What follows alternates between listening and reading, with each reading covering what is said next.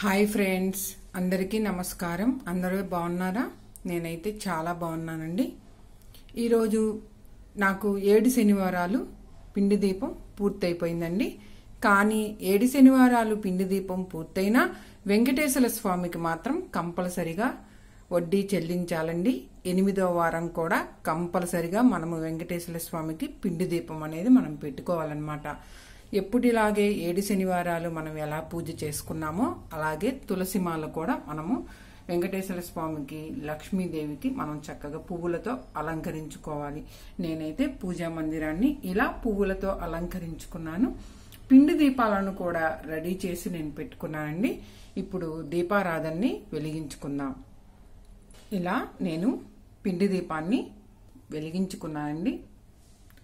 మీరు కూడా నైవేద్యంగా పండు పాలు ఏదైనా ఆ వెంకటేశ్వర స్వామికి మీరు పెట్టుకోవచ్చు అనమాట ఏడు శనివారాలు వ్రతము చేసే వాళ్ళు కంపల్సరిగా వెంకటేశ్వర స్వామికి తులసి మాల అనేది సమర్పించండి. చాలా మంచిదండి. ఏడు శనివారాలు పూర్తయిపోయిన తర్వాత ఎనిమిదో వారము వెంకటేశ్వర స్వామికి మనం వడ్డీ చెల్లించాలండి. అదే మా పిండి దీపం ఎనిమిదో వారం కూడా మనం పూర్తి చేయాలన్నమాట. వెంకటేశ్వర స్వామి వడ్డీ కాసులు వాడు కదా. వడ్డీ కాసులు వాడు కాబట్టి మనము ఎనిమిదో వారం కూడా పిండి దీపాన్ని ఇలా వెలిగించుకోవాలి. ఎప్పటిలాగే తులసిమాల అన్ని పెట్టుకొని మనము పూజా మందిరంలో పూజ చేసుకోవచ్చండి. లేకపోతే ఏడు శనివారాలు మీరు ఒక పీట పెట్టుకొని పూజ చేసుకున్నట్టయితే అలా కూడా చేసుకోవచ్చు అనమాట ప్రతి ఒక్కరూ కూడా ఏడు శనివారాలు పిండి దీపం పెట్టండి. మీరు అనుకున్న కోరికలు అనేవి నెరవేరుతాయన్నమాట. అంతేకాదండి చాలా మంది జరుగుతుందా లేదా అని అడుగుతారండి. వెంకటేశ్వర స్వామి తప్పకుండా నెరవేరుస్తాడండి. ఎందుకంటే వెంకటేశ్వర స్వామిని మనము మనసులో కోరుకుంటే అనుకున్నవనేవి సకాలంలో నెరవేరుతాయి. సొంత ఇంటి కళ నెరవేరాలన్నా ఉద్యోగమైనా సంతానమైనా ఏదైనా సరే వెంకటేశ్వర స్వామికి పిండి దీపాన్ని మనము దీపారాధన అనేది ఏడు శనివారాలు మనం స్టార్ట్ చేసినప్పుడు మొదటి వారమే వెంకటేశ్వర స్వామికి మన మనసులోని కోరిక చెప్పుకోవాలి. నేను ఏడు శనివారాలు పిండి దీపం నేను చేస్తున్నాను స్వామి. నాక నేను అనుకున్న కోరికలనేవి సిద్ధించాలి అని మనసులో కోరుకోవాలండి. కోరుకున్న తర్వాత ప్రతి శనివారం కూడా తులసిమాల సమర్పించాలి. అంతేకాదండి తులసిమాలతో పాటు లక్ష్మీ మనము పూజా మందిరాన్ని మనం అలంకరించుకోవాలి. వెంకటేశ్వర స్వామిని పెట్టుకున్నప్పుడు లక్ష్మీదేవుని కూడా మనం కంపల్సరిగా పటాన్ని పెట్టుకోవాలి. పూజా మందిరం ఇరుకుగా ఉన్న వాళ్ళు వేరే పీట పెట్టుకొని కూడా వెంకటేశ్వర స్వామిని లక్ష్మీదేవిని కూడా మనం పెట్టుకొని పూజ చేసుకోవచ్చు అనమాట ఏడు శనివారాలు పూర్తయిపోయిన తర్వాత ఎనిమిది ఏడో ఏడో శనివారం పూర్తయిపోయిన తర్వాత ఏడు పిండి దీపాలు అనేవి మనం వెలిగించుకోవాలండి. ఏడో శనివారం మాత్రం మీరు అనుకున్నది ఒక ముడుపు కట్టాలండి. ఒక పసుపు వస్త్రం తీసుకొని అందులో మీరు మీరు ఏదైతే మనసులో కోరిక అనేది కోరుకున్నారో ఆ కోరికని ఒక చీటీ మీద రాసి పసుపు వస్త్రం మూట కట్టి వెంకటేశ్వర స్వామి పాదాల చెంత ఉంచాలండి.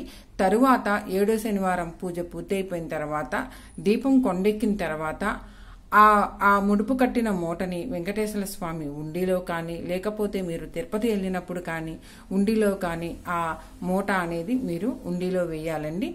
మీరు అనుకున్న కోరిక అనేది నెరవేరుతుందనమాట ఆ కోరిక మీరు ఆ మూట కట్టారు కదండి ఆ మూటతో పాటు వెంకటేశ్వర స్వామికి వడ్డీ కూడా చెల్లించాలి.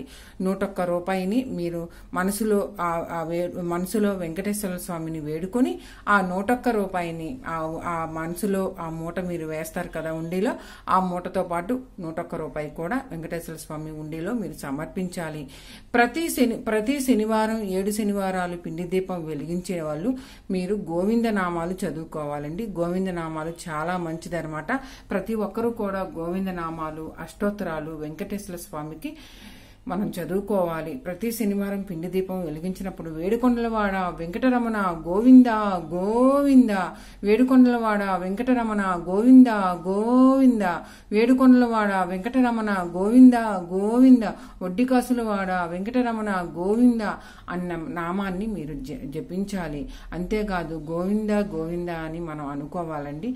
పూజ అయిన తర్వాత పూజకి స్టార్ట్ చేసే ముందు ఓం వెంకటేశ్వర ఓం వెంకటేశ్వర స్వామి నమ ఓం గోవింద గోవింద అని మనం అనుకోవాలన్నమాట. ఇలా ప్రతి శనివారం ఏడు పిండి దీపాలు పూర్తయిపోయిన తర్వాత ఎనిమిదో వారం మాత్రం వెంకటేశ్వర స్వామికి మనం పిండి దీపం అనేది కంపల్సరిగా ఆ వారం పెట్టుకోవాలండి. వడ్డీ అనేది మనం చెల్లించుకోవాలి. అదే వెంకటేశ్వర స్వామి ఎనిమిదో వారం వడ్డీ చెల్లించడం అనమాట ప్రతి ఒక్కరూ కూడా ఇలా చేసుకోండి. ఇప్పుడు వెంకటేశ్వర స్వామికి మంగళహారతి పాట పాడుకుందాం. ఇప్పుడు వెంకటేశ్వర స్వామికి మంగళహారతి పాట మంగళం మంగళం మా మనోహరుడ శ్రీ వెంకటేశ్వర శ్రితపారిజాత. మంగళం మంగళం మా మనోహరుడ శ్రీ వెంకటేశ్వర శ్రితపారిజాత. కనకమయ వసన కారుణ్య సదన. అరవింద్ర నేతుడ అచ్యుతానంద. వేదాంత వీధిలో విహరించు శ్రీస అమరేంద్ర పూజిత అనవద్య చరిత మంగళం మంగళం మా మనోహరుడ శ్రీ వెంకటేశ్వర శ్రితపారిజాత నిగమాంత వేద్య నిఖిల లోకేశ భవబంధమును త్రుంచి పరమాత్మ నాకు దైవ చింతనతోడ తనువు చాలింప జ్ఞానంబు నందించు సత్వరం బగును మంగళం మంగళం మా మనోహరుడ శ్రీ వెంకటేశ్వర శ్రితపారిజాత ఆనంద కర్పూర హారతులందుకో శేషగిరివాస శ్రీ సిద్విలాస ఆనంద కర్పూర హారతులందుకో శేషగిరివాస శ్రీ సిద్విలాస వైకుంఠమును వీడి వసుదకే తెంచి స్వర్ణ దేవాలయ స్థానంబునందు ధరణిలో జనులకు దర్శనం వసగి తొలలేని భాగ్యాలు కలిగించి స్వామి. ఆనంద కర్పూర హారతులందుకో శేషగిరివాస శ్రీ చిద్విలాస సప్తగిరీంద్రుడ సౌజన్యమూర్తి పద్మావతి నాథ బాలాజీ దేవ కలిమల విద్వాంస గరుడ తురంగ ఆపన్నులను గాచు అమృతాంగరంగ ఆనంద కర్పూర హారతులందుకో శేషగిరివాస శ్రీ చిద్విలాస. శ్రీనివాస నీకు నీరాజనం చిన్మయానంద నీరాజనం శ్రీనివాస నీకు నీరాజనం చిన్మయానంద నీరాజనం సర్వాంగములకు జయవందనం నీ నేత్రములకు నీరాజనం నీ కర్ణములకు నీరాజనం. శ్రీనివాస నీకు నీరాజనం. చిన్మయానంద నీరాజనం. నీ వక్షమునకు నీరాజనం. నీ భజకీర్తులకు నీరాజనం. నీ హస్తములకు అభివందనం. నీ చరణములకు శతవందనం. శ్రీనివాస నీకు నీరాజనం. చిన్మయానంద నీరాజనం. మంగళం మంగళం మానితకార శేషాద్రివాస శేష ఇసైన మంగళం మంగళం మానితకార శేషాద్రివాస శేష ఇసైన జయమంగళం నిత్య శుభమంగళం. స్మిత శోభితాస్య చిరిసిద్విలాస వడ్డి కాసుల వాడ వనజరామున్. పద్మావతి పతి భవ్య ప్రకాశ. మంగళం మంగళం మానితకార శేషాద్రివాస శేషైసైన ఇలా మనం మంగళహారతి కంపల్సరిగా వెంకటేశ్వర స్వామికి మనం పాడుకోవాలండి. అంతేకాదు వెంకటేశ్వర స్వామికి శనివారం నాడు గోవిందనామాలు చదువుకుంటే ఒక పిండి దీపం అప్పుడే కాదండి. వెంకటేశ్వర స్వామికి శనివారం అంటే చాలా ప్రీతి. అందుకే శనివారం నాడు వెంకటేశ్వర స్వామికి గోవిందనామాలు. అంతేకాదండి సుప్రభాతం చదువుకున్న చాలా మంచిదన్నమాట. అందుకే శనివారం వచ్చిందంటే ప్రతి రేడియోలోనూ మీకు సుప్రభాతం ముందుగా మీకు వినిపిస్తుందండి. చక్కగా బుక్కుల్లో ఉంటుంది. మీరు చ- సుప్రభాతం బుక్ చదువుకున్న చాలా మంచిది. గోవింద నామాలంటే వెంకటేశ్వర స్వామికి చాలా ఇష్టం. ఎవరైతే ఇంటిలో పిండి దీపాన్ని వెలిగించి గోవిందనామాలు అనేవి చదువుకుంటారో ఆ ఇంట ఎప్పుడు వెంకటేశ్వర స్వామి అనుగ్రహం అనేది కలుగుతుందన్నమాట. ప్రతి ఒక్కరూ కూడా ఇలా చేసుకోండి. మీ ఇంట ఎప్పుడు వెంకటేశ్వర స్వామి మీ ఇంటిని ఎప్పుడు ఆశీర్వదిస్తాడండి? చూశారు కదా? ఇలా ఇప్పుడు నేను కర్పూరాన్ని వెలిగించుకుంటాను. కర్పూరాన్ని వెలిగించుకుంటే పూజ అనేది సమాప్తం అవుతుందన్నమాట నా ఏడు శనివారాలతో పాటు ఎనిమిదో శనివారం కూడా వెంకటేశ్వర స్వామికి వడ్డీ చెల్లించానండి. నా ఏడు శనివారాలు పూజ అనేది సమాప్తమైంది. నాకైతే చాలా సంతోషంగా ఉందండి. ఎటువంటి ఆటంకము లేకుండా ఆ వెంకటేశ్వర స్వామి అనుగ్రహం వల్ల నేను ఎనిమిది వారాలు పూర్తి చేసుకోగలిగాను. చాలా సంతోషంగా ఉందండి. వెంకటేశ్వర స్వామి ఏడు శనివారాలు పూర్తయిపోయింది కదండీ. కదండి ఇక నుంచి లక్ష్మీదేవికి ప్రతి గురువారం కూడా పూజ ఎలా చేయాలి? తొమ్మిది గురువారాల పూజ అనేది నేను స్టార్ట్ చేస్తాను. తొమ్మిది గురువారాలు లక్ష్మీదేవికి ప్రతి శుక్రవారము ఎలా పూజ చేయాలి అనేది నా నెక్స్ట్ వీడియో అండి. మీకు కంపల్సరీగా నేను చూపిస్తాను.